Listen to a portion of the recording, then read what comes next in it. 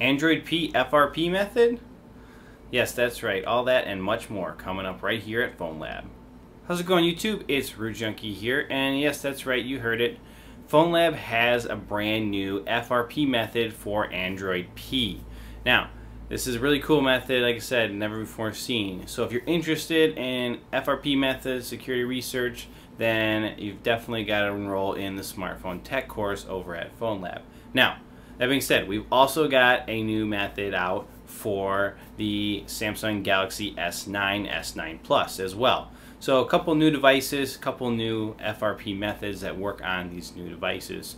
So again, this research we do constantly updating our FRP section there and we keep bringing up new material and new ways to bypass uh, factory reset protection. So pretty cool, pretty cool. The other thing I wanted to talk to you guys about today was an article we just posted over there at the site for Samsung reactivation lock and some of the changes and things that are taking place in that realm as well. It's a great little article written by MJ. So if you're interested in that and you want to hear a little bit more about it, then I'll put a link in this video description and you guys should check that out as well.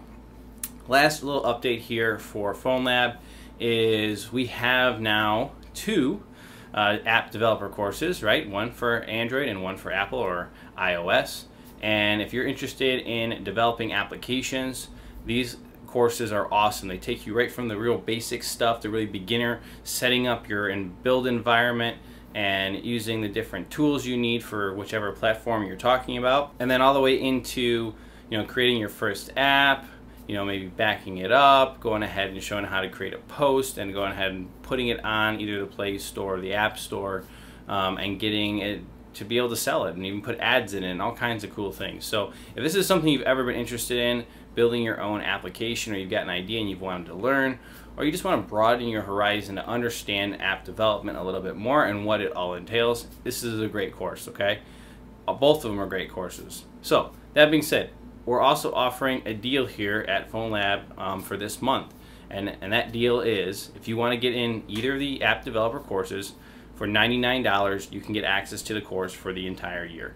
Um, that's a pretty big savings, over 50% off at this point. So if you're interested in this, this is the time to jump in. Now, if the $100 is too much for you, okay, $100 is too much, I can't take that, you know, you just want to check it out and see what this is all about.